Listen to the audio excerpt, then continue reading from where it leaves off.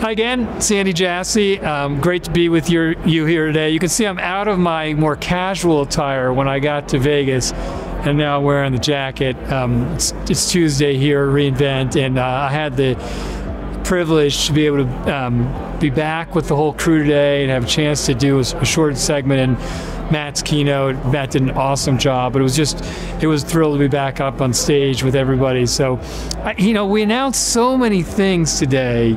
I can't get through all of them, and you probably don't want to sit through another uh, conversation about all the launches. But I, I thought what I would do today and then for the next couple days is just give you some of the launches that I'm excited about. And I'm going to talk about three today.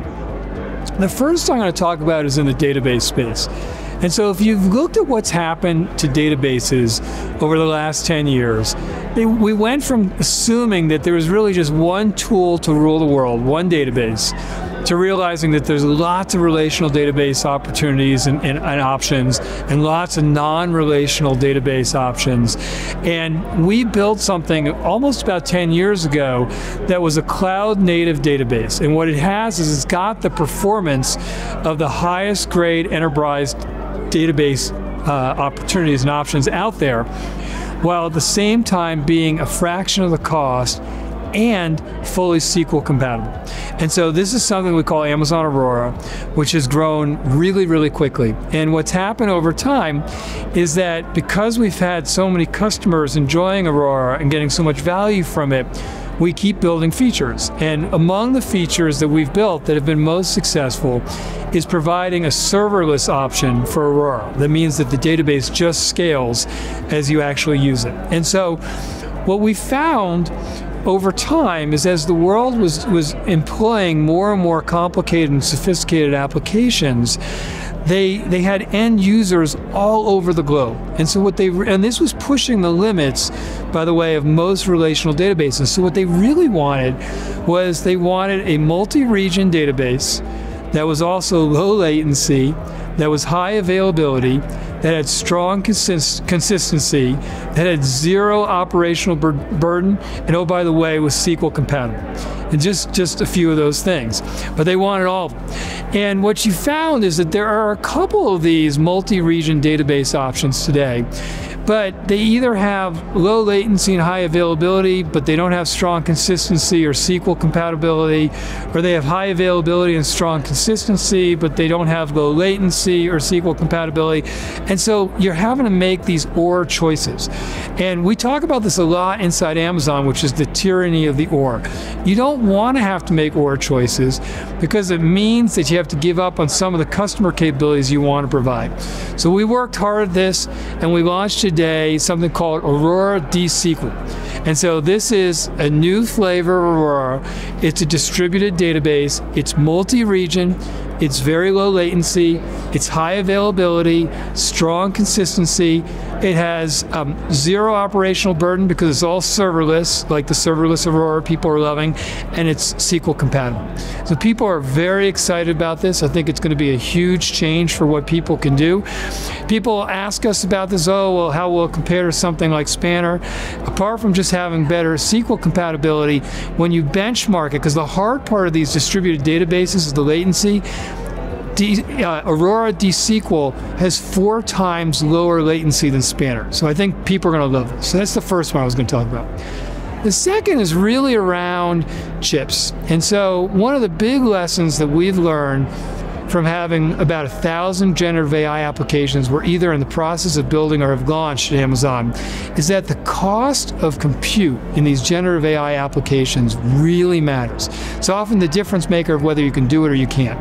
And to date, all of us have used really just one chip in the compute for generative AI, and people are hungry for better price performance. And so the launch of Matt shared today of Trainium 2, which is our new chip that we built, which are in our Trainium 2 instances in EC2, or TRN2 as we call them, is going to be a game changer. It has 30 to 40% better price performance than the um, current GPU instances in EC2.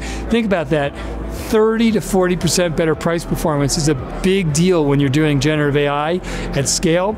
And so what we've done in, in each of these TRN2 instances is you've got 16 of these TR, these Trainium 2 chips in there. It allows you to run uh, 20.8 petaflops of compute at its peak performance, which is quite a lot. And then we built an additional innovation that we call um, ultra servers, which basically what we've done is we've done we've taken four Trainium TRN2 servers and put them together through ultra fast NeuronLink Connect. So that means that you effectively have 64 Trainium 2 chips in this one um, uh, ultra server, and that gives you I think the math is 83.2 petaflops of compute um, at peak performance. It's completely different in terms of what you can do. You're going to use those ultra servers and, and a cluster of those to train the most sophisticated, largest foundation models in the world. In fact, we just announced a collaboration with Anthropic where they're going to build their next generation of large language models on top of Trainium 2, but on an ultra cluster of hundreds of thousands of Trainium 2 chips. So this is very exciting, and I think this is going to make a big difference for you as you start to scale your compute in generative AI. And then the third one I'm going to uh, mention is really around models. And so, what's interesting in those thousand uh, internal generative AI applications is that a lot of our internal builders have asked us to provide them better latency, lower cost, um, the ability to fine tune their models, the ability to connect knowledge bases so they can ground their answers in their own data, the ability to take agentic actions on their behalf. And so we we have a lot of model provider, providers that, that are partners, and, and they, they have been partners for a while and will be partners for a while, um, for a long time, as far as I can see. And when we mention this feedback, they're very receptive to it, but at the same time, they're busy. And so it's one of the reasons why we have continued to work on our own frontier models.